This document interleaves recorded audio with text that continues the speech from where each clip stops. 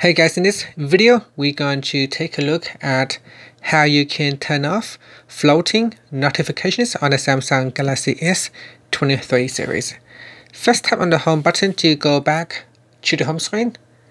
And from the home screen, swipe down at the top and then tap on the settings icon. In the settings page, we scroll down and tap on notifications then we go down to the bottom and tap on advanced settings. Now we go down to the bottom and tap on floating notifications.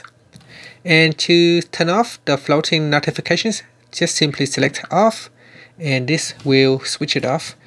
Now our floating notifications on a Samsung phone such as the Galaxy S23 is a type of notification that appears as a small movable uh, window on top of other apps or the home screen.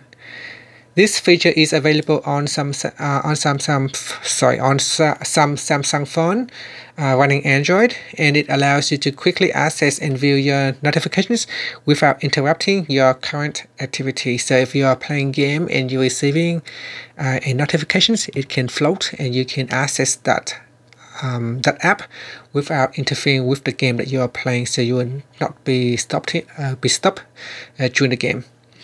Now, if you do not like to use that feature, you can uh, switch it off by simply set it to the off, uh, uh, selecting the off item right here to uh, set it off.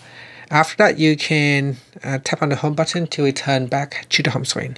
Thank you for watching this video. Please subscribe to my channel for more videos.